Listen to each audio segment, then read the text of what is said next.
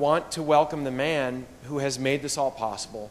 His face is on the logo, so you know he's got to be important in some way or another. He's the one who has who helped create the JREF. It's all for him. He's the reason we're all here, and that is the man, James Randi.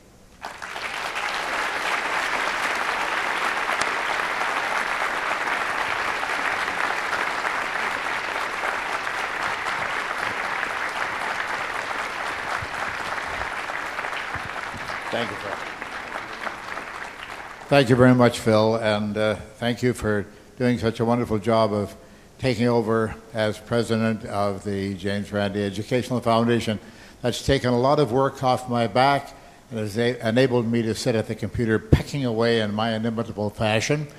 Um, I don't touch type, you see. I do it by looking down to find out where the letters are. But I do it at a fair rate. I am working hard and uh, very successfully on my next book, A Magician in the Laboratory. And uh, a lot of that is due to the fact that Phil has taken over so many of my duties. I look at this crowd and I say what Phil just expressed. Wow.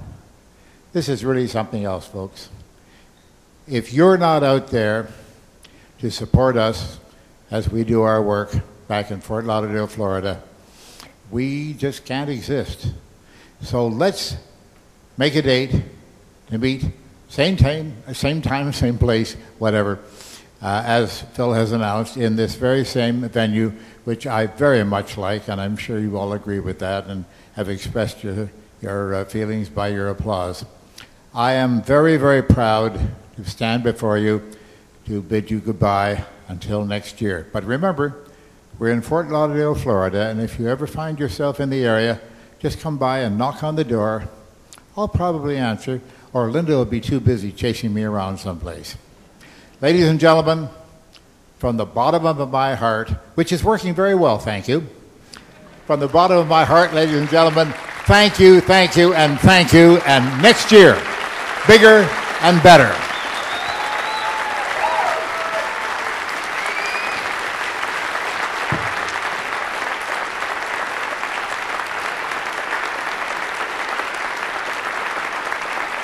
For more of James Randi and the Educational Foundation, make sure you visit randi.org.